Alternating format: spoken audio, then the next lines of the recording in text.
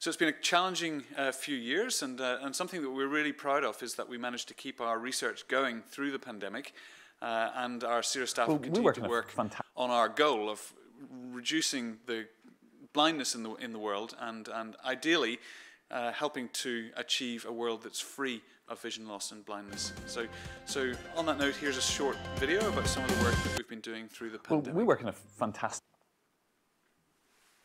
Well, we work in a fantastic field, and, and we're at a really exciting time in eye research because building on some of the knowledge that we've gained about how the eye works over the years, we're now starting to turn that into treatments for conditions that were never previously treatable.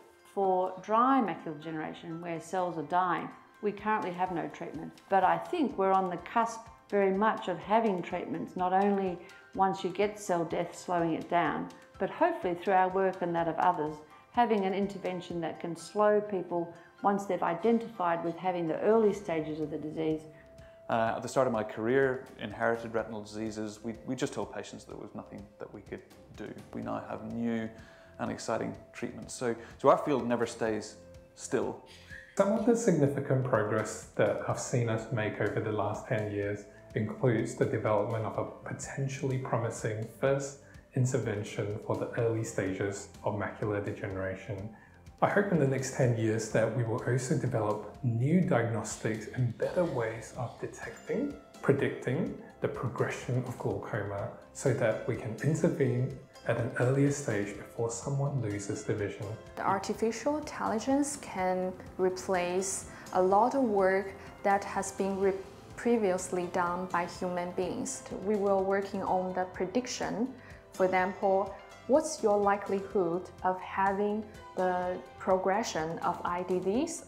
Now we could use genetic tool to form a, a type of therapy that potentially could actually slow down or even cure those of disease. So I think my, my, my hope is that in the future, so we could have the solution for each of eye disease and then just prevent the, the vision loss one of the most devastating aspects that I find from talking to people with inherited retinal diseases who are losing vision is not just the concept that you're not able to see, but actually the concept that you're not able to see as well as before. It's not knowing whether or not you're going to be able to see your children grow up. It's not being able to see your wives or husbands as you grow old together. And that's a very big part of why I love doing what I do. CERA is actually one of the leading sites for a world first trial looking at a treatment potentially for retinitis pigmentosa. We have kept our, our research going, our clinical research, our lab-based research, the whole way through the pandemic and now that we're coming out the other side of that, we're starting to expand and to grow. So we've got some pretty exciting uh, opportunities to build on the success we have as the largest clinical trials centre for vision and eye research in Australia and, and make ourselves even more um, capable into the future so that we can help bring new therapies to, to patients.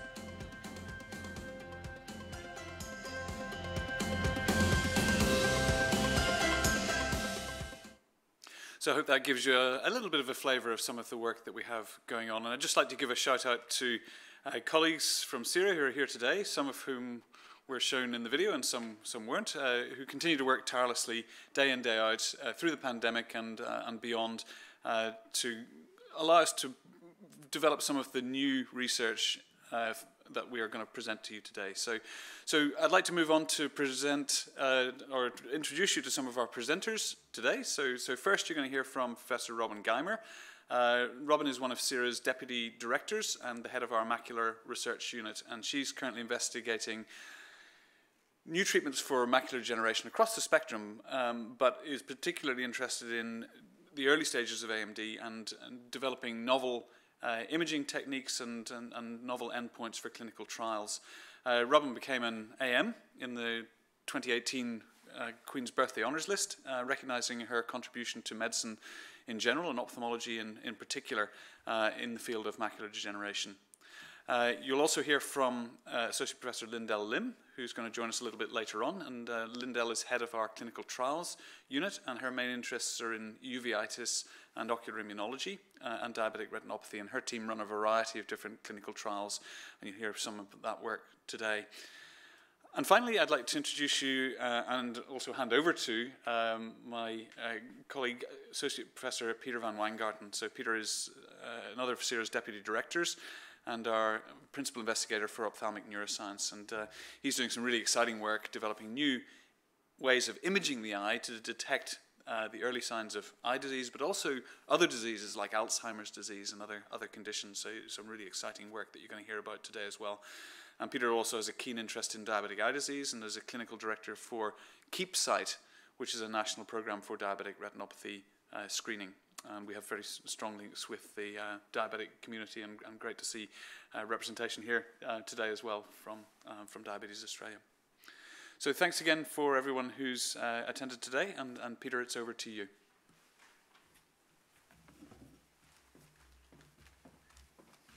Thank you very much, Keith, and uh, welcome everyone. It's, uh, it's great to see you all in person.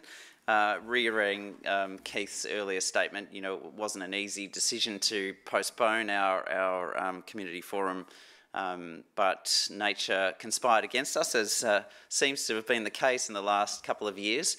Um, so we made quite a difficult decision um, given that we, we weren't sure whether the storm front would be hitting um, the CBD, and uh, in retrospect, seeing the, the damage that um, the storms caused out west, um, you know, we made the right call. So apologies for any inconvenience, but uh, great to see the stalwarts here today. Um, and I'm, I'm really looking forward to what I think will be a very um, inspiring and informative um, session today. So we're delighted to be able to host you today at Melbourne Museum. Um, it's a place of wonder and discovery, and I think it's just perfectly apt for the mission of CERA. We're all about wonder and discovery for purpose, and that is to um, end needless vision loss. Um, just before we go on, I'd like to just run through some general housekeeping. Um, the toilets are located um, out in the foyer at the back end of the foyer. So when you leave the auditorium, just turn right. Um, in the unlikely event of an emergency, we'll ask you to follow the directions of Melbourne Museum staff. So we're extremely grateful to the museum for their hospitality today, and we're thrilled to be able to extend the hospitality further. Um, you'll all be um, able to have complimentary access to the museum and all the amazing exhibitions, um, including the Triceratops exhibition. So the, the child in you will, will revel in, in, in that. So please avail yourself to that. It's meant to be phenomenal. Um, so we're going to welcome your questions. We'd love interaction, um, but uh, we'll ask you to sort of keep a lid on it until the end. Or there'll be a Q&A session and we'll be um, delighted to um, field your questions. Um, and we'll have Matt and Callum walking uh, with roving microphones. Uh, we'll also welcome you to come and speak with us during lunch that will follow the, um, the proceedings. Um, but please do be mindful that we can't provide personal medical advice um, and we'd always encourage you to speak to your healthcare professional. Um, it's my great pleasure now to um, hand you over to my dear colleague, um, Professor Robyn Guymer, um, who's going to be discussing what's new in age-related macular degeneration for our first presentation. Thank you, Robyn.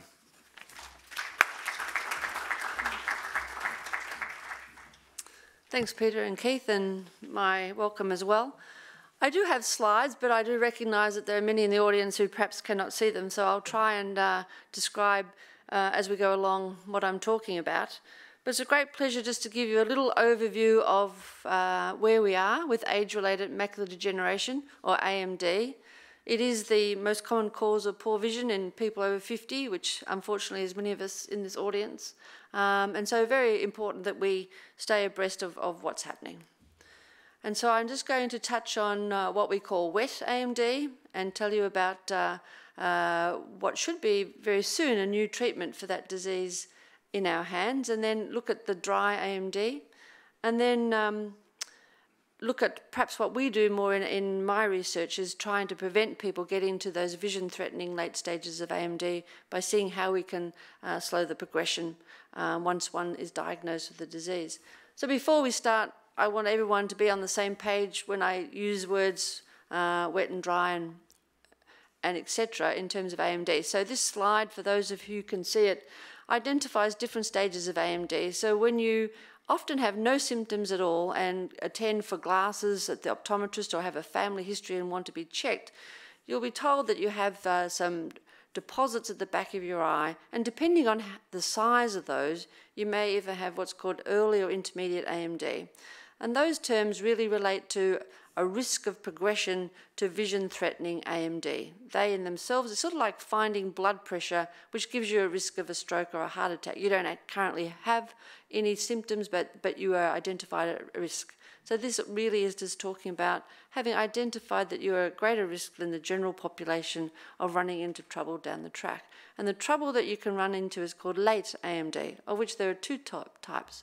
Wet means a bleeding form of the disease, which is shown here down the bottom. So you get either blood or fluid leaking out into the retina, which is not a good idea. If you think of your retina like the film in the camera, you want that to be crisp and sharp and clean. You don't want blotches of uh, fluid or blood on it. And so that's wet macular degeneration.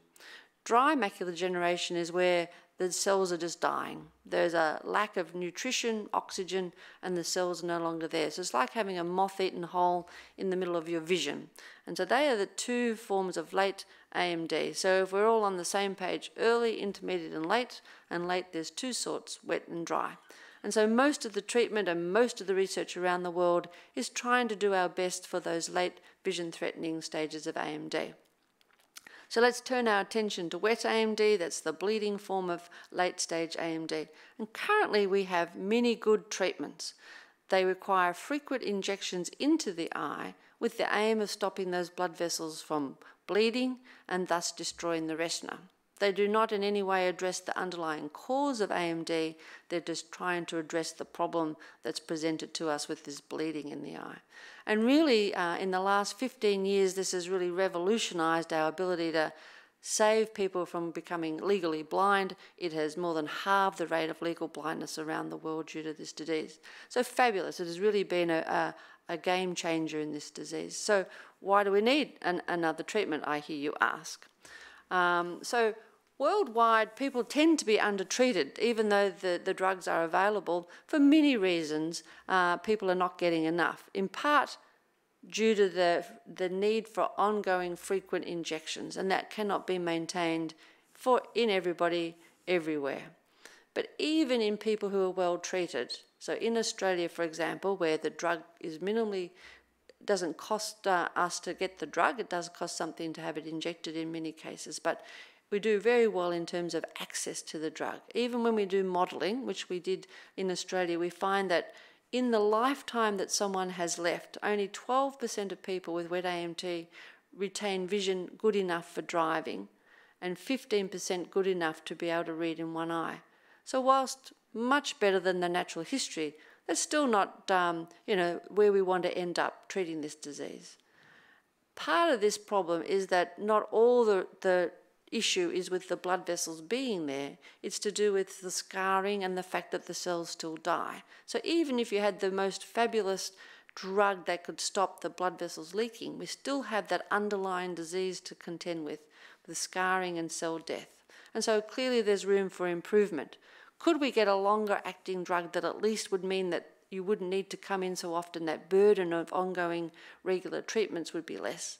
And then can we stop that down the track scarring and cell death that uh, tends to be the main cause of uh, vision loss down the track. So here is an example of one of my patients. I just wanted to illustrate that problem.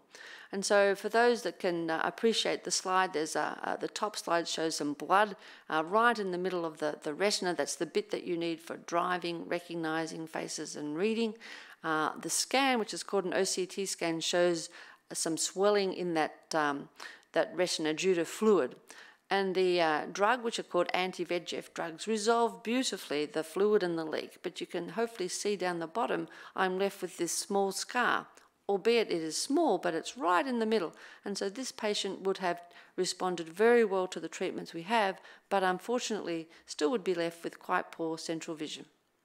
And then Even though the lady was 95, she's now 101, doing well. But over, over the years, uh, again, the anti VEGF, the blood uh, stopping leaking drug, worked well, but her vision is now 660 or can only see the top letter of the chart due to this ongoing death of cells and fibrosis. So, is there anything on the near horizon that might address this problem? Is also something to consider. And so, I'd just like to introduce you to what will be the first new drug that we will get uh, to use in Australia for over 10 years. It's called faricimab, or you'll know it as Vabysmo when it becomes available. And it is not just an anti blood vessel drug. Hopefully, it will do more to address those two other problems the, the atrophy and fibrosis. So, in one injection now, we have two different actions. One will be the anti blood vessel or the anti VEGF action, and the other one will be hopefully to reduce inflammation and stabilize those blood vessels more. So potentially there will be a longer duration of action, and hopefully that uh, more um, addressing that secondary problem of atrophy and scar. And so though trials in this drug have now completed, and here are just some, some results. So after two years of injections, about 80% of people with this new drug Vabysmo were able to be treated on 12 weekly or longer. So that's a, an injection every three months. Um, whereas originally uh, we were treating everybody with the, when we first started treatments with monthly injections. And over half, so 63% of people could get out to only having an injection every 16 weeks or every four months, bring us down to perhaps three injections a year much more tolerable than the 12 we used to do. So we may be able to get more of our patients lasting longer between uh, their injection intervals. This particular result or these trials don't really tell us about the atrophy and fibrosis, but there is an ongoing um, uh, interest in, in understanding whether this drug will be helpful in that extent. Now, faricimab is already approved in America. They've been using it since the beginning of the year. Uh, and Australia got its approval uh, in August this year uh, to, uh, for use in Australia, but we're just awaiting it being listed on the PBS uh, to cover the cost of that in, in uh, treatment. And when it is available, it will, as I said, be the first new advance in treating wet AMD in the past 10 years, other than a drug that really um, caused us too many side effects that we don't tend to use now. So this will be the hopefully the next big step forward. But we do want to learn more about how it's used in the real world, and this is part of a study I've been involved in planning and will be the, the global PI for this study, which aims to look at the real world outcomes uh, once we start using this new drug. And this is really where we gain insights into how, how it's being used in the world. So we're going to have over 5,000 patients, hopefully 31 countries involved, many sites, and also involve a range of clinicians, not just those that are in academic centres, not those that are just in um, big uh, centres like uh, capital cities. So around the world, we'll get some idea of what's going well and what isn't to try and make sure that the best outcomes for all patients uh, with this new treatment. So the take-home message then for wet AMD is that faricimab is this new treatment. Uh, it's more than hopefully just uh, stopping the blood vessels from leaking. We will await the real-world evidence to see whether we can extend more people at the longer intervals than we currently do, and hopefully it may have some impact on those unmet needs, which is the ongoing cell death and uh, scar formation.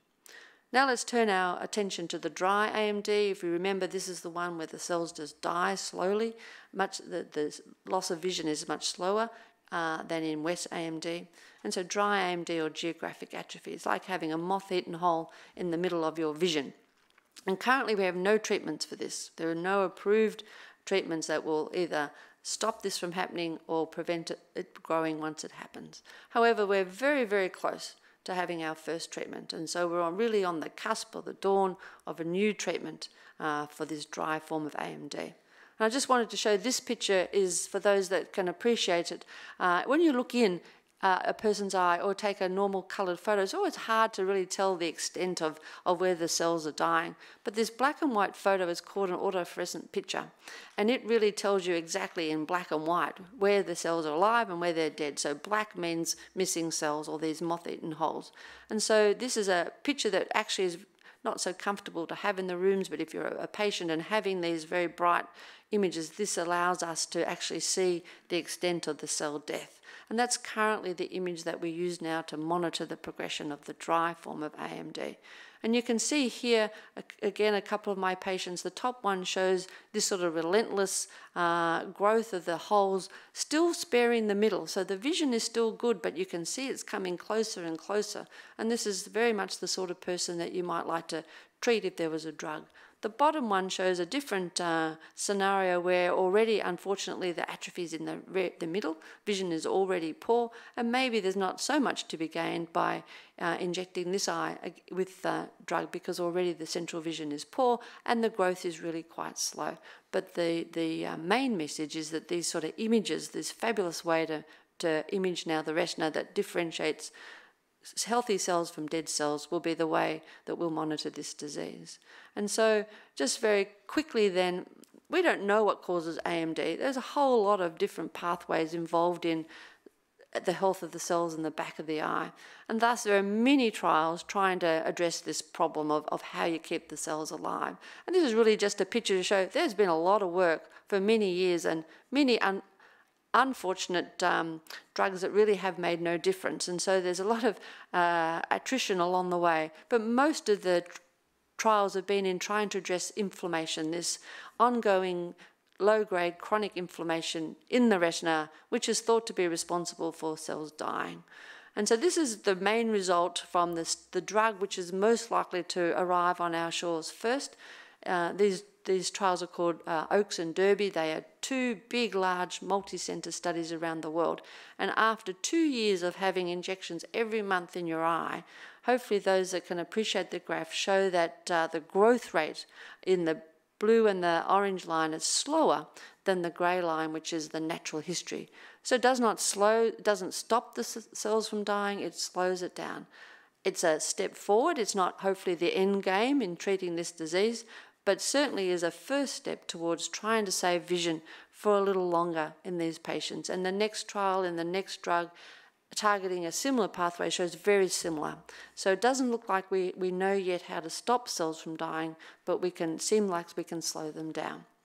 And so there are many other ways trying to rather than get away with having monthly injections maybe you can do injections under the skin maybe you can take tablets for this but possibly the more um, realistic and interesting one is gene therapy. And this is where a one off treatment, surgery to the back of the eye that would deliver a gene that would do what we're trying to do with those injections or the ongoing treatment. So this is probably the way to go in dry AMD is a one-off treatment, put in a gene that dampens down the inflammation so you don't have to have those ongoing um, treatments.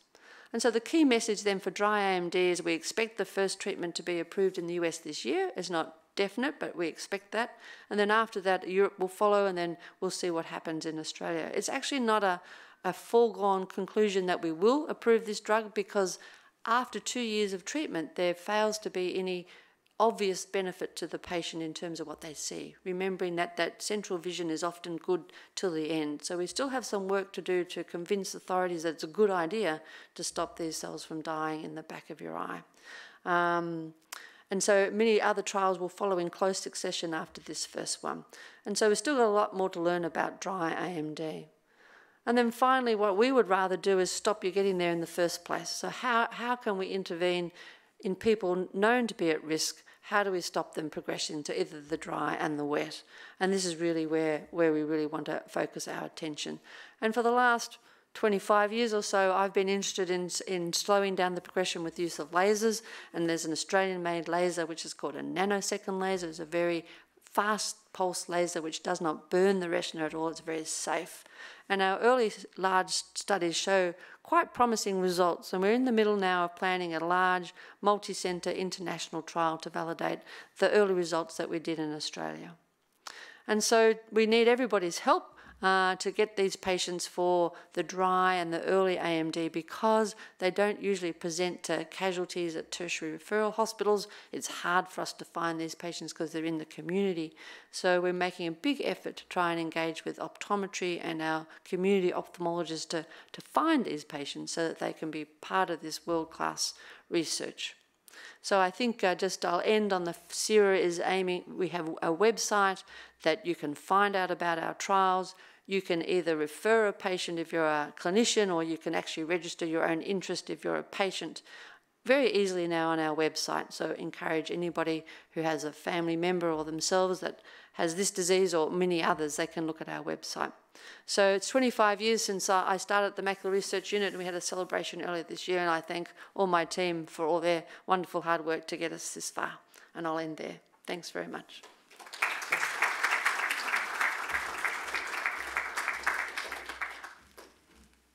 Thank you, Robyn. That was fantastic. It's just so um, exciting to see that the long drought for dry AMD may soon be um, breaking. So that's uh, very exciting. Probably not the most appropriate analogy given our weather at the moment, but nevertheless. Uh, now it's my pleasure to speak to you um, about a subject that's uh, close to my heart, and that is um, diabetes. Um, if we can just go back one, oh, there we go. So this is um, a story of, of two parts today. So I'm going to talk initially about um, the KeepSight program that Keith alluded to earlier, which is a, an initiative to make sure people are getting their eyes checked regularly. Um, and the second part on some exciting new research that our team is doing. So um, with no further ado, um, everyone in the room will know someone, a friend, a family member, or perhaps they themselves will have diabetes. It's a very common disease. And I thought it would be uh, useful because it's hard to conceptualize, you know, big numbers, but a way of thinking about it might be to think about if diabetes was a country, what would its population be? What would it be similar to? And I might just get you to think to yourselves which one of these options is most likely. Do you think the total number of people with diabetes in the world is similar to the combined population of Australia and New Zealand? Option A. Option B, the populations of Brazil and France. So the first option, 30 million. Brazil and France having a combined population of 280 million. Or the third option is C, the combined populations of America, Russia and Italy at half a billion people. Which would you think? Would anyone hazard a guess? C, you're right. So half a billion people. It's quite extraordinary when you think of it that way the entire population of America, Russia, and Italy, and the numbers are growing. So clearly, that poses some massive challenges um, at the health system level. How do we meet the needs of all of these people? Um, if we look uh, from an Australian perspective, there are 1.7 million Australians, we believe, living with diabetes. About 500,000 of those have not yet received a diagnosis. They have diabetes ticking over in the background. And we also know from surveys, including ones that we've done here at CERA, that about half of people with diabetes don't access regular eye screening. And you might ask why that's important. Well, one of the most common complications of long-term diabetes is damage to the retina. It's called diabetic retinopathy. So we know if we did a straw poll of, of people in Australia with diabetes, we just take people off the street, we would find signs of diabetic retinopathy in one in three people. So it's there, and it's a significant cause of vision loss and blindness. In fact, it's one of the leading causes of avoidable vision loss and blindness. And that's the key word here, avoidable.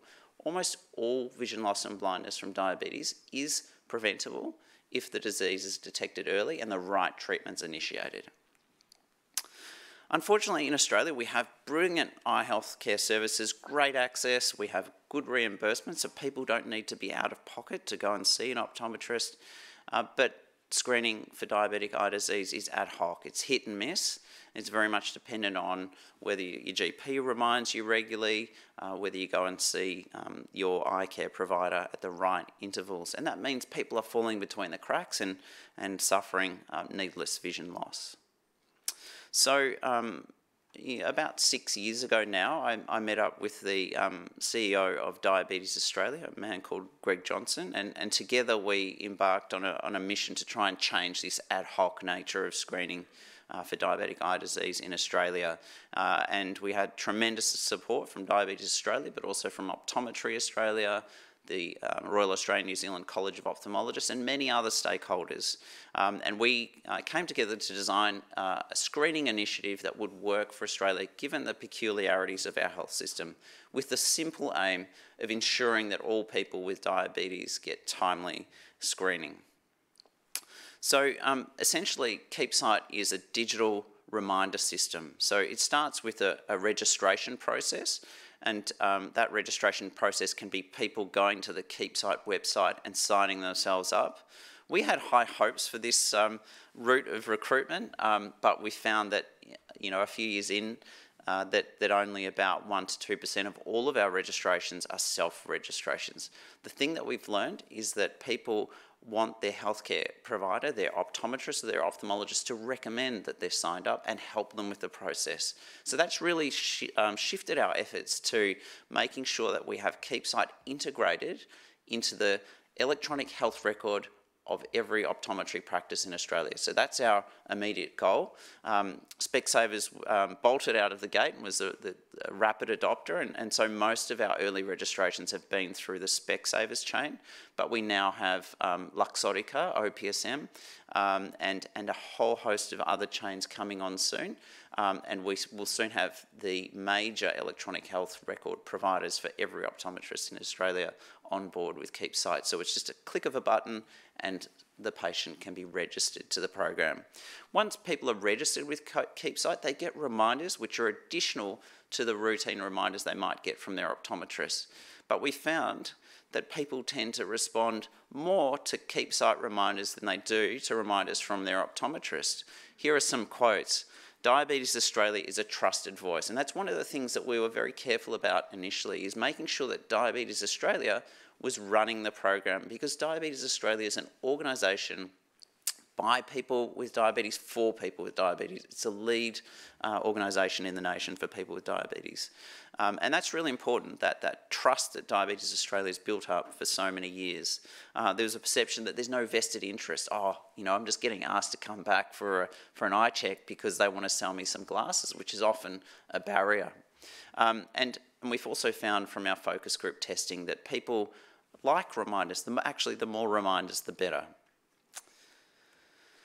So how are we going? So these were figures uh, at June of this year um, with almost a quarter of a million registrants, so 244,000 in June. We're now um, edging closer to 300,000. Uh, and as I said initially, um, many um, of those early registrations uh, were people who are attending Specsavers practices, but the balance is now being redressed. But we've now achieved 80 2% of all people with diabetes uh, who attend a Specsavers practice are signed up with KeepSight. So that's tremendous. Oh, there we go. Um, we've had almost, um, we've had 370,000 KeepSight visits to optometrists around the nation.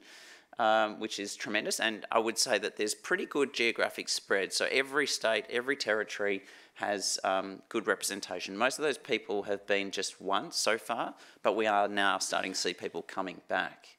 We've issued 135,000 reminders, mostly via digital means, emails and SMS. Um, and our optometrists are saying we've noticed a marked increase in timely reattendances and in response to our reminder letters. So we're making good headway, um, but there's still a way to go. There are, you know, 1. 2 million people with diagnosed diabetes, so we need to go from 300,000 to 1.2 million, and, and that's our aspiration. And we know that um, some of the people who've signed up to KeepSight early on were those who are already uh, quite engaged in their eye care. So our, our major focus is getting people from culturally and linguistically diverse communities engaged, and particularly Aboriginal and Torres Strait Islander people who we know are at far higher risk of diabetes and far higher risk of, of devastating complications. So changing tack now, that's the sort of community health um, initiative, and, and CERA has been a driving force in that program. I thought I'd shift to some of the work that, that my uh, very talented research team is doing. Um, and so this, this is looking at a new type of imaging, and, and Keith alluded to that. We've been looking at Alzheimer's disease, but we're also very keen to develop better eye tests um, for diabetes. So uh, the, the title of this um, part of the talk is Improving the Identification at People at Risk of Sight-Threatening Diabetic Retinopathy or Diabetic Eye Disease. So why should we do so? Well, the major driver of diabetic retinopathy is the blockage of tiny blood vessels at the back of the eye. The fancy word for that is ischemia, just means a lack of blood supply. That's the main driver of the disease, and it's also really important to identify that to work out the risk of someone progressing to the sight-threatening complications of the disease. We've got good tools already to detect this. Uh, the mainstay is a test called an angiogram. You might have had an angiogram in the past. You get a needle into a vein in your arm. You get a contrast agent, a dye, injected into the veins that travels through the heart and up into your eyes. And as it's passing through that very intricate circulation of the back of the eye and the retina. Um, images are taken with a bright blue flash and we capture the fluorescence of that particular dye as it's passing through that little um, network of um, blood vessels. It's a very good test, but it's uh, invasive, it's time consuming, it's costly, and it carries a rare risk of, of allergy. So it's not without its downsides. There's another technique. Um, many of you will have had an OCT when you see your optometrist or an ophthalmologist. You'll see a black and white sort of image, uh, almost looking like a, slice of lasagna, which is the back of your eye, which has been um, imaged in cross section. There's a particular flavour of OCT called OCT angiography, which gives us a very detailed view of the blood vessels. But unfortunately, most of the machines that um, optometrists and ophthalmologists can afford um, actually quite cumbersome and quite low resolution. So there's room to do better. Um, so we, our team's been working with hyperspectral imaging. It's a new type of retinal photography, but instead of having a single white light flash, what we do is we acquire many different images of the back of the eye with different colours of light. And that gives us very detailed information about the back of the eye, far richer information than we would get with a standard photo. And we can then use artificial intelligence to find um, new features of diseases, so things that we can't see with the conventional approaches. Um, and the underlying um, principle is that uh, when we um, use different wavelengths of light, the camera senses uh, recording the amount of light bouncing back from the eye. And there's a physical interaction of the light with the tissue that's influenced by the structure of the tissue, in this case, the retina. So, um, and that's also dependent on the colour of light. So if we get information with different colours of light, we're getting much richer, richer information about that structure. So the question that, that our group has um, set out to answer is whether this imaging approach uh, can detect uh, signs of this lack of blood supply to the back of the eye um, based on the reflectance signal of blood in the retina. And you might ask why. Well, even when we're young kids, we know this, uh, this to be true that arterial blood, the blood in our arteries, which is carrying lots of oxygen, is bright red, whereas the blood from our veins looks darker colour, sort of a darker, bluer um, colour. And if you look at the graph there, that's if we take some arterial blood, the red curve, um, or some venous blood in the blue curve, and we look at its absorption of light, you can see that the arterial blood, which has got lots of oxygen in it, is, is um, not absorbing much red light. It's reflecting the red light, so it looks red. Um, and so that's why uh, arterial blood's red and venous blood is, blue, is bluer. So that, of course, is the underlying principle by which the pulse oximeter works to measure the oxygen saturation in your blood, the thing that gets popped on your fingertip when you go to emergency or your doctor that reads the amount of saturation of oxygen in your blood. Basically, it's shining two different colours of light through your fingertip. There's a little detector at the other side, and it's working out the ratios of absorption of, of um, those two different colours of light to estimate the amount of oxygen in your blood. So we wondered whether we could do something similar in the eye using our hyperspectral camera. So we recruited patients from the eye and ear, uh, and those patients were needing to undergo an angiogram test. Uh, and we had cases in one group, those are people who had blockage of blood vessels in the back of the eye, and controls in another um, group who'd had an angiogram, but it was all normal. Uh, we had, uh, in this small study, 55 people, a good balance between genders, uh, similar ages between the groups, and you'll see that um, almost 80% um, of our participants had diabetic retinopathy. So we acquired images on, um, on this device. You'll note this quite large um, camera system. It's got quite a small field of view. So the, the view that we get in those images, the retina, are actually quite small. So we have to take quite a number of those images and paste them together. So you can see that sort of tiling of those image stacks together. We then overlay that on the angiogram test. Remember, these people have had an angiogram as well. And then what we do, we get our retinal specialist to mark out in red any parts of that, um, that angiogram image that are lacking blood supply. So we can then use that, those red labelled areas to train an artificial intelligence system to see whether we can pick that up using the multicoloured flash imaging alone, so without the need for an angiogram. And to cut a long story short, we've done that and we've shown that it's highly successful. We can predict with a great degree of, degree of accuracy for every location in the retina whether there's um, oxygenated blood there or not. And so that's a very promising um, tool because this technology could be used as part of routine screening for diabetic retinopathy. The same photo that you would have to detect whether you've got retinopathy or not could tell you if there's areas of the retina that are lacking blood supply, and that could then inform whether you need to come back um, sooner or whether you need treatment earlier. Um, so really personalising care, and that can help us to manage this huge burden of disease um, with half a billion people. Because at the moment, our tools are not very accurate at detecting who's going to pro progress and who's not. So we have to see people more often. We have to see them every year. So maybe if your scan is normal, we could say we'll see you in five years. Um, here's just some examples. The um, angiogram images at the top, the red spots are the ones that are lacking blood supply, and anything in white is, um, is what our artificial intelligence system has predicted as lacking blood, and you can see very close correspondence between the white and the red. Um, so finally, we are um, now on um, a validation study for this technology, a larger study with more patients, and, and part of this is supported by um, Diabetes Australia, so we're very grateful for that. Um, the, the major innovation here is that we, our team has developed our own retinal camera that can do this. Um, this doesn't need eye drops to dilate the pupil, unlike the other one. Uh, it's much faster, it's a quarter of a second to capture these images. It's got a wider field of view and it's much more detailed. So we're very excited about that and we hope that anywhere where you see a retinal camera today, tomorrow you'll see one of these cameras to improve um, health for people with diabetes. So I'd like to thank my team and uh, look forward to questions. And it's now my great privilege to welcome my friend and colleague Lyndell Lim uh, to give the next talk. Thank you.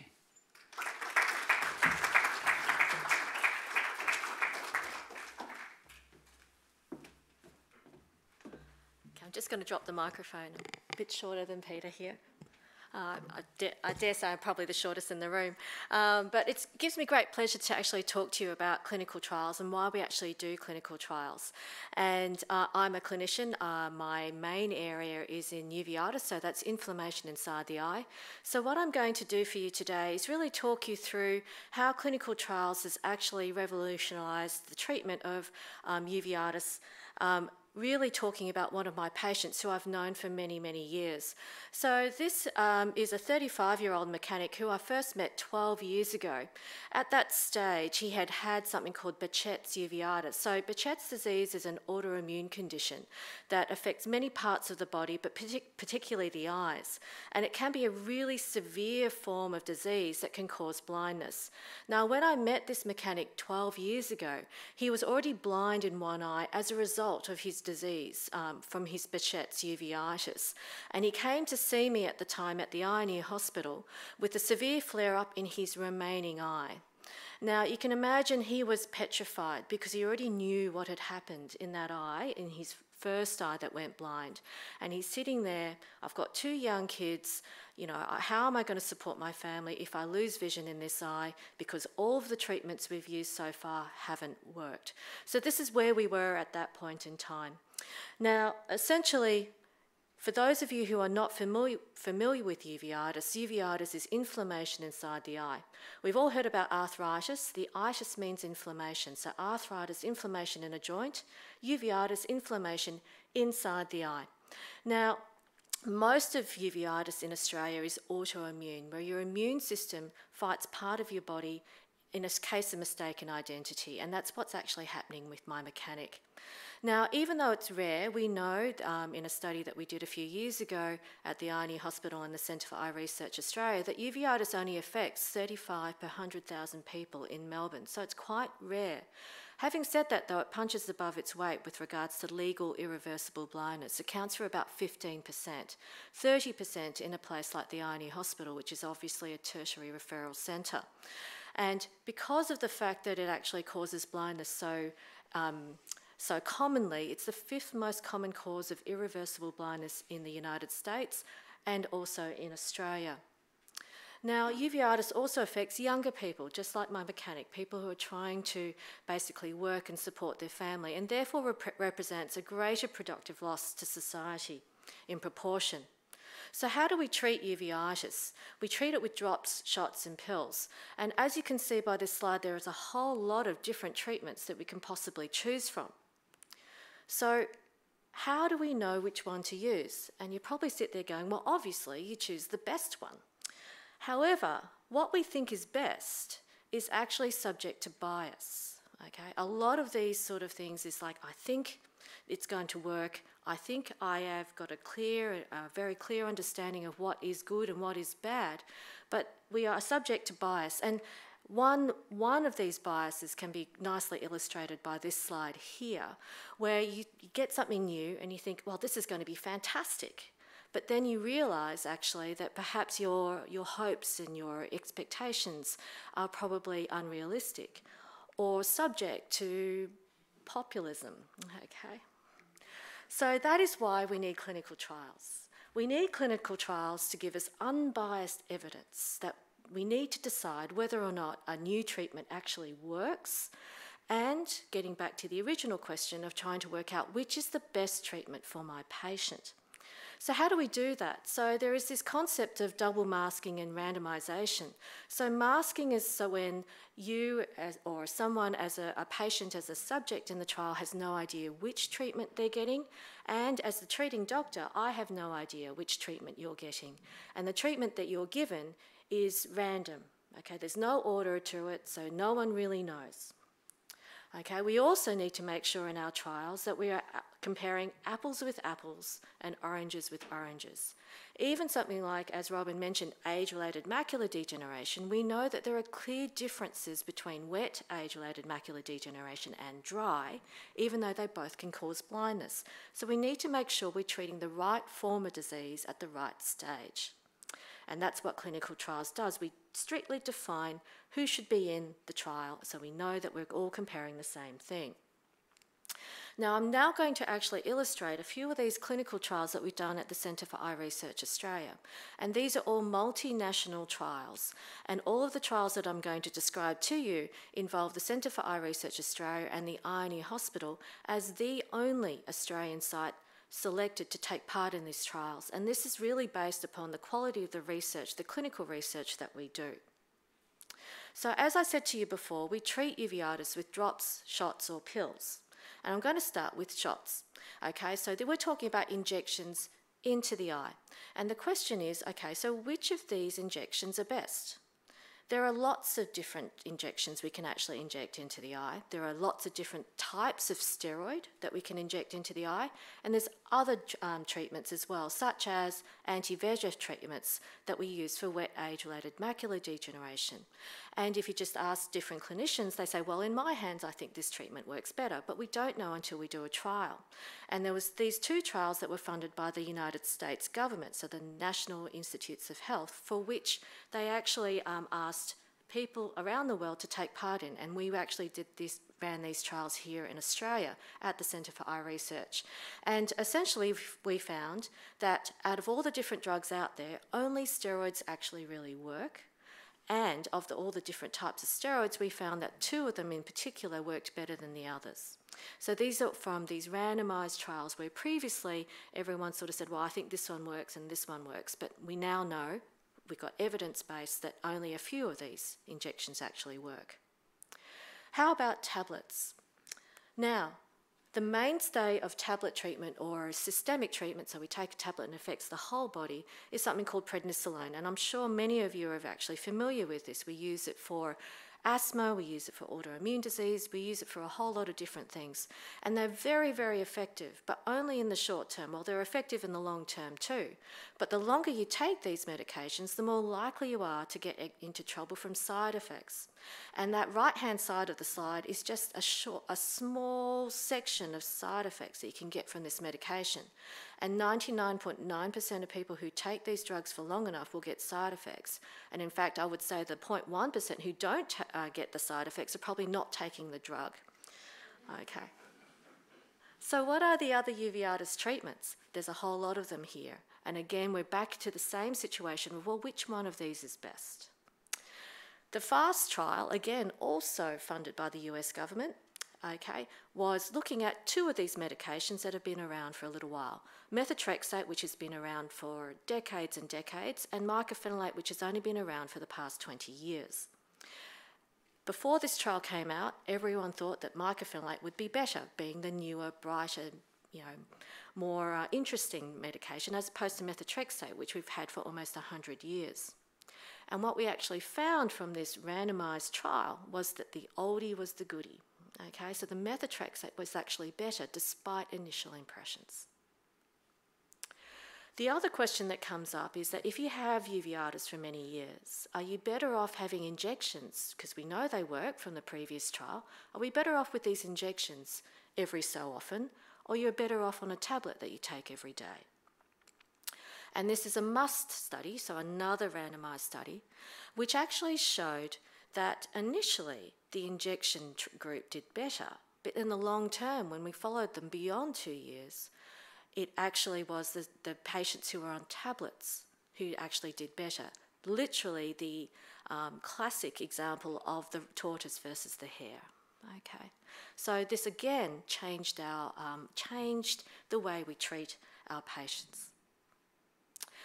Clinical trials, as, um, as Robyn has actually already explained to you uh, with age-related macular degeneration, is also the way that we actually determine whether or not a, treat, a new treatment actually works. And this is the same in uveitis, where you, some of you might have heard of these new treatments called biologics. These are new treatments that actually target certain molecules in your body, just targeted molecules, rather than a, you know, a shotgun approach that affects many different pathways and therefore perhaps high rates of side effects. And one of these molecules is TNF, which is thought to cause a lot of inflammation. And so as a result, there's a new medication called adalimumab or Humira, which is an anti TNF. It targets and reduces the effect of this TNF um, medication. Now, again, in a randomized controlled trial, we actually found that um, this anti TNF molecule, adalimumab, works very well in uveitis, as shown in this graph. So how does that impacted my mechanic? So essentially, when I first met him, this Humira, this new medication, had just been come, um, had just been proven to perhaps work. So we popped him into this trial, and we found that he did incredibly well. His left eye settled down after two injections of the steroids, which I found we know from the trials worked, and his uveitis has remained controlled ever since. He has not had a flare up whilst he's continued on the Humira and the methotrexate, that oldie and goodie medication that I mentioned to you before. His uveitis has remained quiet. He's stopped his prednisolone, that toxic medication. He's lost 12 kilos as a result of that, and he was no longer clinically um, depressed. He's still working. His kids are now towards the end of high school. Okay, and he's done brilliantly well. I only now only see him twice a year, as opposed to almost every week when I first met him. So we still have clinical trials running in, um, at the Centre for Eye Research and the Eye Hospital. Our aim is to better use or better use the drugs that we have. Our aim is to try and find new treatments to make those sort of life-changing ch um, uh, changes to our patients. We have lots of different clinical trials um, at the Centre for Eye Research. This is just a summary of the past trials over the past five, five years. And this is over the past 12 months, you can see we now cover many other areas in ophthalmology. And those in the stars are the new uh, uh, treatment trials that we are now looking at starting up early next year.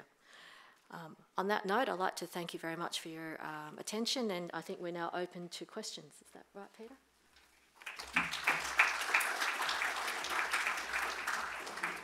Thank you, Lyndell. That was excellent. Um, before we get to questions, because I know you're bursting to ask questions, um, it's my great pleasure to introduce my colleague and friend, um, Senior Philanthropy Manager Ryan McCarthy. Ryan has come to CERA with um, 15 years of experience in fundraising and philanthropy, and um, he just exudes passion uh, for creating meaningful, memorable opportunities for donors to connect, collaborate, and create visionary change. So he joined CERA earlier this year, and many of you may have already had the pleasure of speaking with him. He's here today, um, and so please feel free to speak to him at lunch. But today, uh, I'd welcome Ryan to talk to us about CERA's new bequest and monthly giving programs. Thanks, Ryan.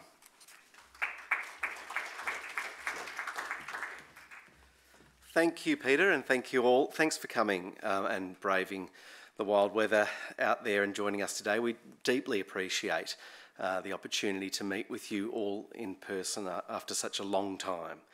Um, you might have noticed the very colourful, beautiful, and light filled artwork behind me.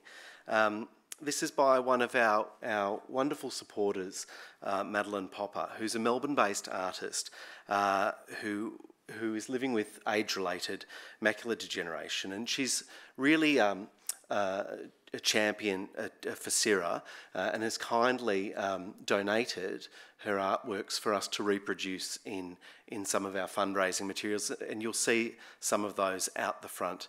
Um, and if you're interested uh, in, in talking to Madeline about her work, uh, her, de her details are, are on our cards out the front. But when Madeline was first diagnosed with macular degeneration 20 years ago, she was told that she would not be able to drive or read or even see faces within two years. Uh, this revelation uh, that she would lose her sight made Madeline even more determined to pursue her passion for the arts and, and take up.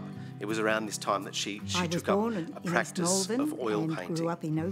Today, her sight has declined to the point where she can no longer uh, see the end of her brush, so she paints with her fingers instead.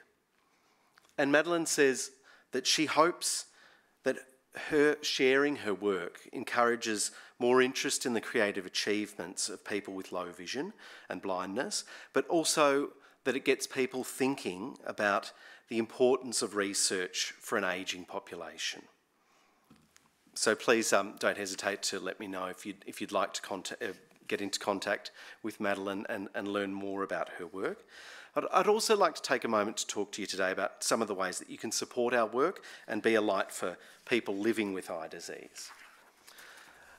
Finding new treatments to improve the lives of patients with eye disease is at the heart of, of all of our research and work at CERA, and it's your compassion, your commitment, and the generous support that, that you provide that makes the critical work that you've been hearing about today possible.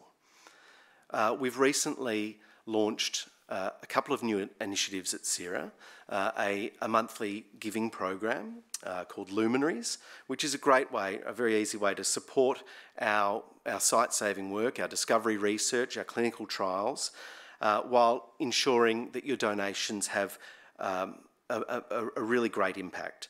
Uh, ongoing support ensures that our scientists and clinicians can continue to perform their, their very ambitious and life-changing work but it also helps us uh, with long-term planning um, so that we can, we can uh, have long-term projects uh, and continue to inquire into eye conditions.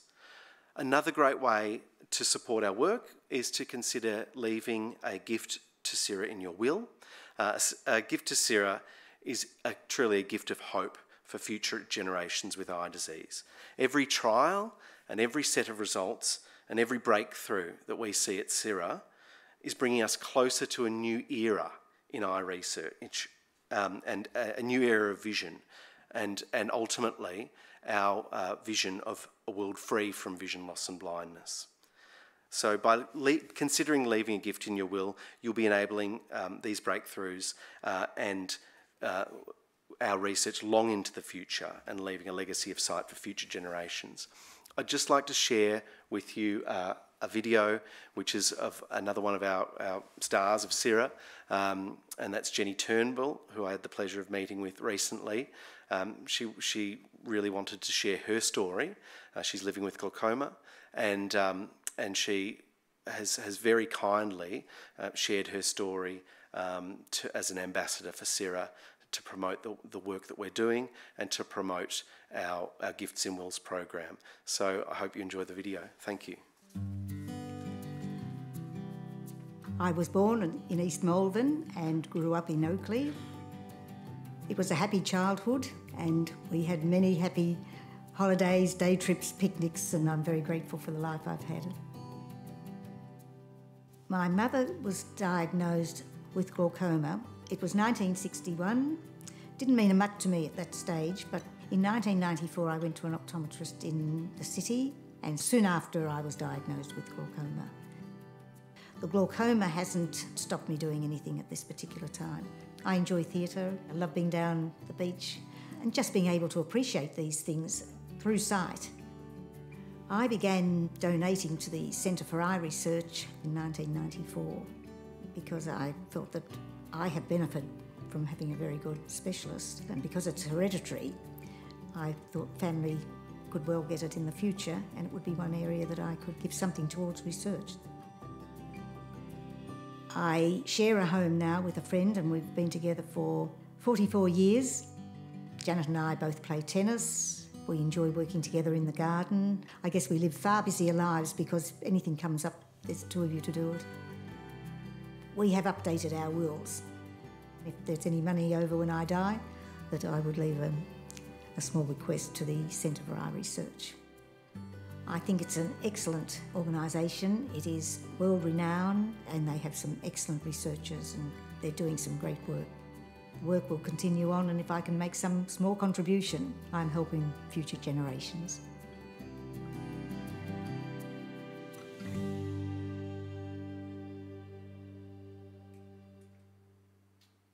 you very much, Ryan. That was um, excellent. Um, I might uh, welcome Keith onto the stage as well. It's now question time, so um, please feel free to um, ask any questions. We've got roving microphones, so um, if you want to ask a question, just pop your hand up, and um, please don't be shy. This is a, a rare opportunity for you ask, uh, to ask us anything. It doesn't have to be linked to uh, the presentations that you've seen today. So, does anyone want to open up with a question?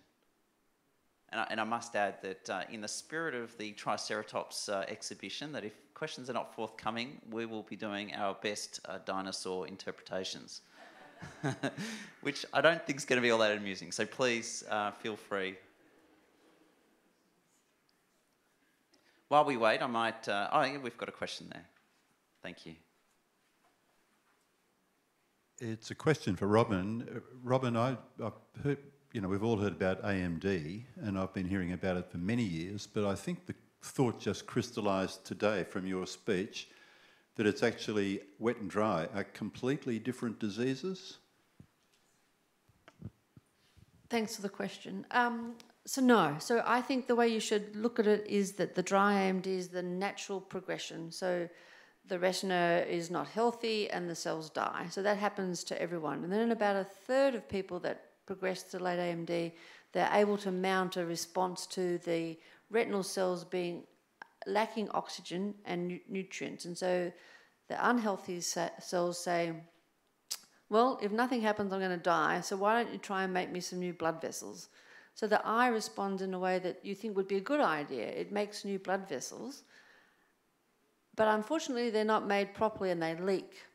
However, the more we learn and the more we have wonderful imaging techniques, like Peter um, alluded to, this ability to see the blood vessels actually in the bottom of the eye when you're looking with OCT angiography, lo and behold, we actually see some people actually do make those new blood vessels, which they've been asked to do, and they're not leaking. So they're there for good, not for bad. And then just at some point, the eye is unable to keep them recapitulating the layer that they've lost and then they, they grow in and leak. So the idea now actually perhaps is not to completely aim to annihilate those new vessels, but to help them mature and stay there and, and try and control any leak that comes to stop them damaging the retina.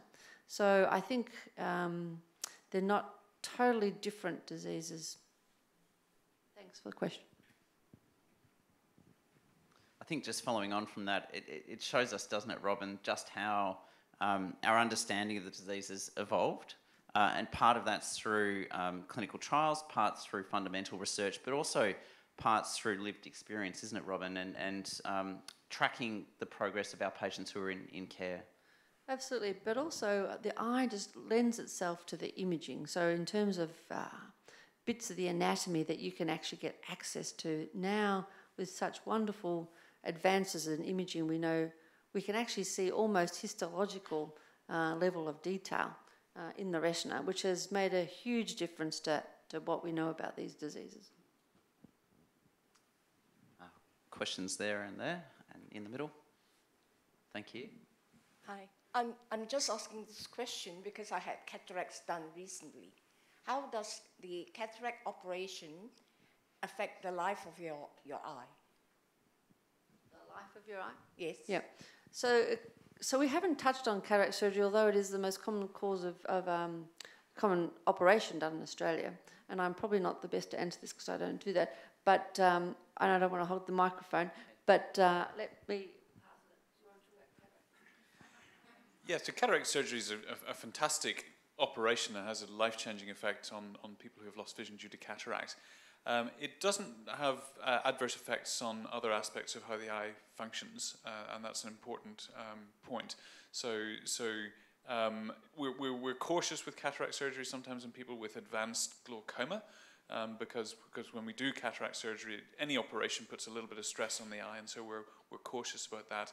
And in macular degeneration, uh, we always warn patients that, that the, the, the, final improvement in the vision is variable and, and, and it will depend sometimes more on the on the underlying macular degeneration than the cataract itself. But uh, but uh, you can treat cataract in the context of these other diseases, and often that will still give you some benefit.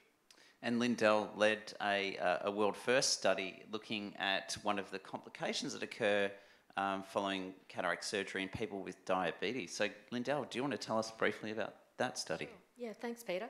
So, if you have diabetes um, affecting the eye, like what Peter has actually mentioned with the diabetic retinopathy, we know that the cataract surgery, because it can cause some inflammation inside the eye, it can actually make the um, diabetic retinopathy in the eye get worse. Now, you know, there are treatments uh, for this uh, which are mainly injections, so they're these anti-VEGF treatments, but there's also these steroid treatments that I also alluded to in uveitis. And so the trial that we did was to actually uh, do a randomized trial comparing these two medications, and we found that the steroid was actually better at the time of surgery at dampening down the inflammation and stopping the retinopathy, the diabetic retinopathy from getting worse. So that's actually changed our understanding. It's just that really we can actually modify that and actually stabilise the eye. It's a short-term change, and so basically the whole idea is to keep everything stable, and then after six to 12 months, it sort of goes back to the your baseline. Thank you. We had a question in the middle there. Second question before you go, oh, please. Oh, yes. Sorry about that. This is a bit, perhaps a bit naive, but can we solve the problem with an eye transplant? I mean, you, you have heart transplant and everything else. Why not a, an eye transplant? Yeah, it's an interesting question, and, and there is, believe it or not, a lot of work going on in this field. It's, a, it, it's almost like a moonshot because there, there, are a whole range of different problems you have to solve to achieve effective eye transplantation. And, in, and one of the and major problems that we have is actually repairing the optic nerve, the nerve that connects the eye to the brain. Um, and that's something that my lab um, works on, and we're, we're, we're developing ways to do that. But it's more complicated than that because you also have to restore the blood supply, and, uh, and, and that's an important part of this as well. And that is a very technically challenging thing to achieve. It is being done though, and, there, and there's some very impressive work going on uh, looking at a whole eye transplantation in, in animal models. Um, it's, it's a long way from being something which we're using um, clinically, but but it's um, in the past many scientists would have said it's it's crazy. There's no way that that's ever going to be possible, and now there are sort of conceivable routes to um, achieving some sort of restoration of vision with, with eye transplantation. Now, the quality of that vision, you know, would remain to be seen, and there are a lot of technical challenges. I don't want to get people's hope up that this is, you know, just around the corner, but but there is. For sure.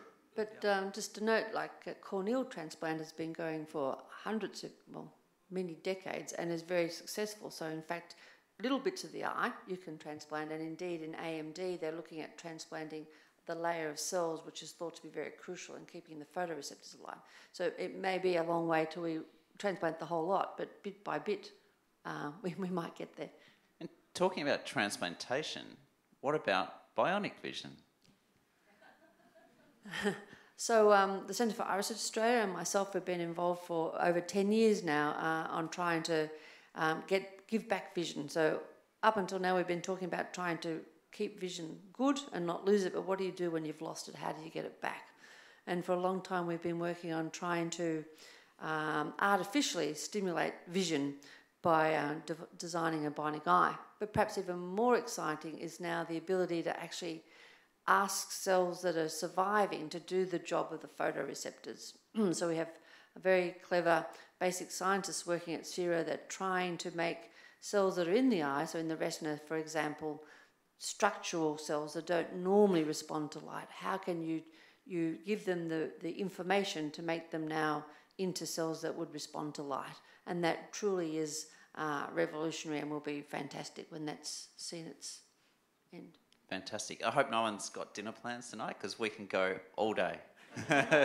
um, next question, thank you. And then uh, up the back.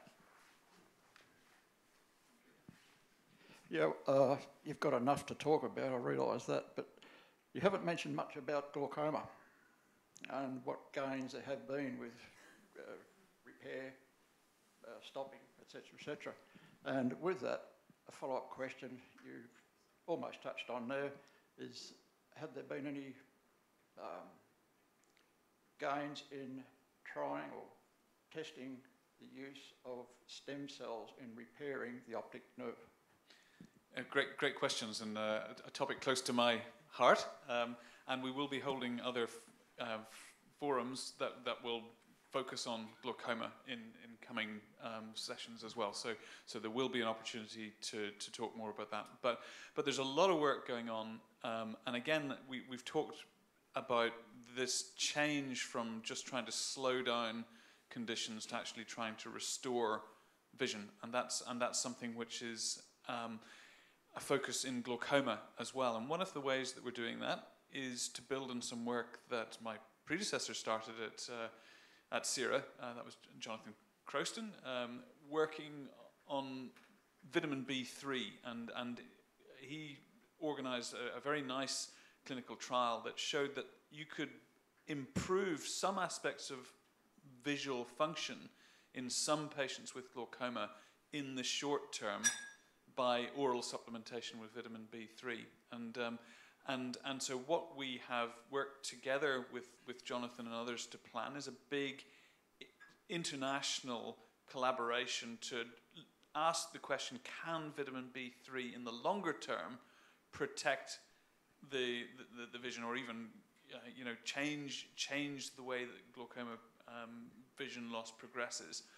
Um, and this is going to be done uh, in Australia, in, in, in, Melbourne and Adelaide. We're just starting to recruit patients uh, now for this study. Um, it's also being done in Singapore and in Sweden uh, and in uh, London. Um, and so, so we've got a big international collaboration. Uh, we're going to be recruiting probably a couple of thousand patients between all of the, all of the different studies um, that will answer this question. That's just one example. And then we've got a range of other things which I will take great delight in talking to you in more detail about at a, at a future session, looking at how we repair the nerve. And stem cells are one of those um, types of treatment that we're using. And I've done some work showing that this can have an effect in animal models of glaucoma, a beneficial effect on, on, on, on vision loss. Um, and, and we're also using gene therapy. You heard a little bit about gene therapy today for macular degeneration. It's proven to be a very powerful technique potentially for use in, in glaucoma as well. So there's a, a lot, lot going on. Um, some, some things that are pretty easy to test, um, but just need us to get on and do, like the vitamin B3, and then and some more advanced uh, therapeutics that we're also working on. Um, so lots of things to, to present in future sessions. I think we had a question up the back there.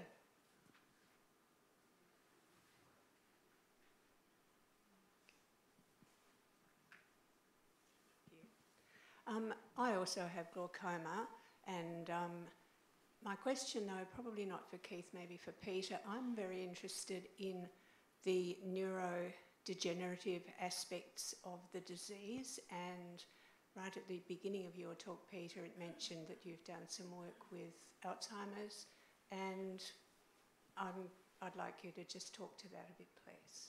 Thank you.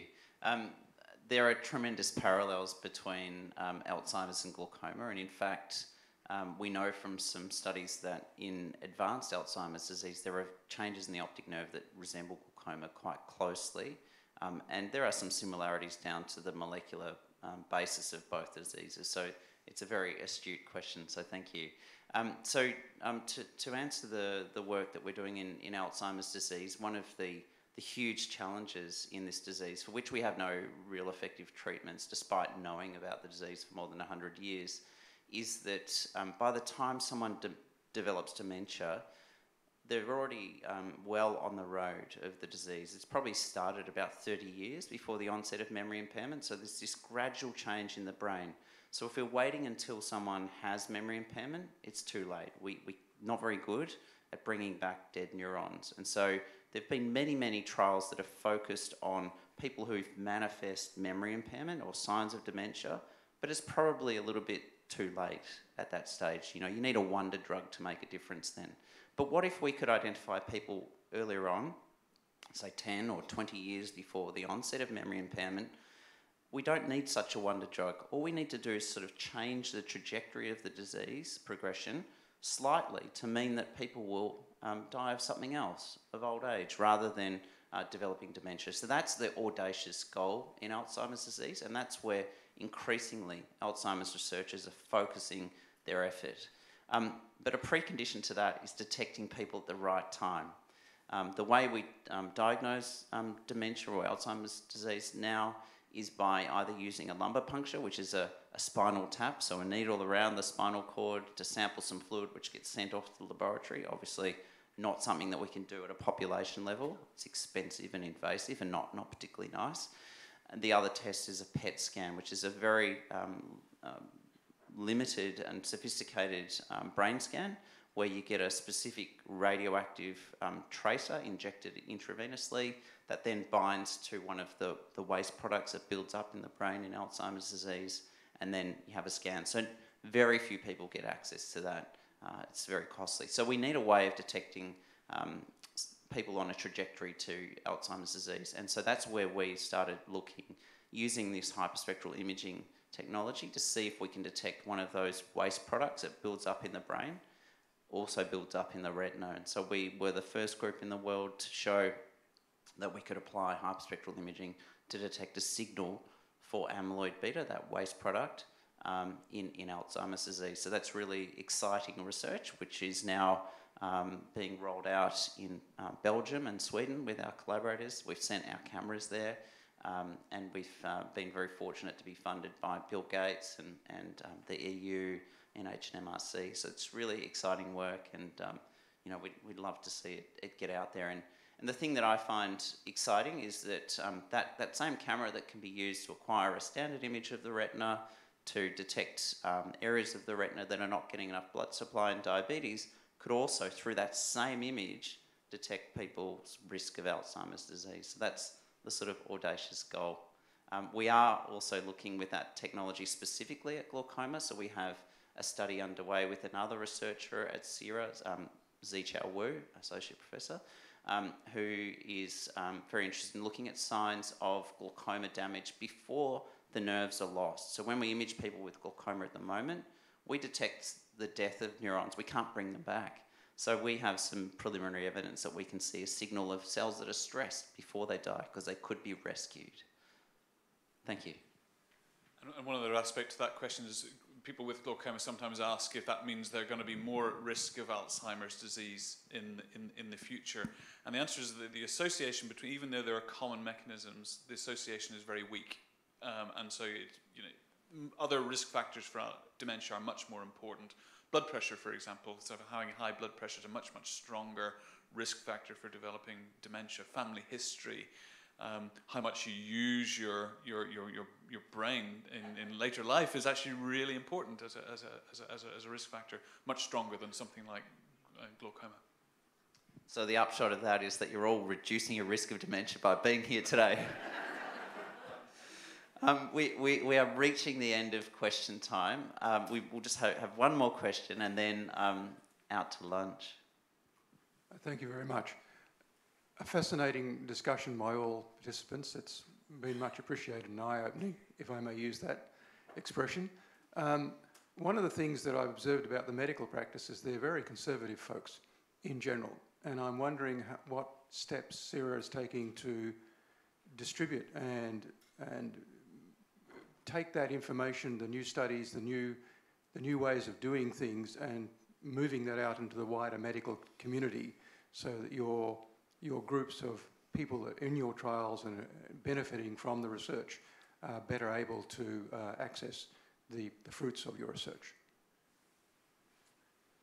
So um, I'll, I'll, I'll try and um, answer that question. Certainly, look, you know, we all we all uh, basically um, disseminate the results of our research uh, through a lot of scientific congresses, not just uh, nationally but also internationally as well. Uh, we've actually just had our national uh, congress recently where all of us have actually been talking about the trials and the, the results of our trials um, to our colleagues in ophthalmology. Uh, we also do the same internationally, as I said before, but we also let them all know about the trials that we're recruiting to. It's also a really good forum or an opportunity to actually meet with fellow researchers or fellow clinicians to really talk about building uh, collaborations for research and getting them involved in recruitment or even seeing some of our patients in the clinical trials as well. So certainly this is something that we all do um, on a very regular basis and certainly much easier now that um, you know the, all the lockdowns and all the international restrictions and travel have also reduced because I'm sure all of you know that it's so much nicer to meet and talk in person than it is over a Zoom screen. Um, so, uh, yeah. And I think I'd, I'd add that, that CERA is the place that it is because we have such a rich and committed community of supporters. And I think, you know, um, each of you can, can spread the word about CERA and, and, and the research that we do and the importance of our research and, and um, you know, and don't underestimate the, the value of that. So I think, you know, our, we get the message out through our community as well. And I have to acknowledge our communications team, Janine's there at the back, who's just done an absolutely stellar job in communicating the message of research and the importance of that in a very approachable uh, and, and real and meaningful way. So I hope you find those communications of value to you. And we talked about us communicating the results to, to physicians, but actually, very often it comes from patients. So patients um, inform patients uh, who read the you know, the reports of new science coming through will often challenge their doctor and say, well, is this, what about this for me? You know, and that stimulates the doctor then to go and find out a bit more because they don't necessarily know some of these things. So, so it's, it's, it's a pincer movement, you know, if you like, from, from us trying to uh, educate our, our colleagues on the new things coming through and, and, and patients actually pushing their um, physicians for access to, to, to new treatments. Great. Well, I'd like to thank you all for coming today. We're, we're just thrilled by your interest in, in what we do and for your support. Um, we, if you've got some un- unanswered questions, we'll be um, out with you at lunchtime. Um, lunch is just in the foyer outside uh, and will be available for you to enjoy uh, until quarter to one. And once you've finished, you're welcome to go and have a look at the museum and, and enjoy the afternoon. Um, again, thank you all for attending and showing your support for CERA community events like this are just so integral to what we do, and we really appreciate your interest. Thank you.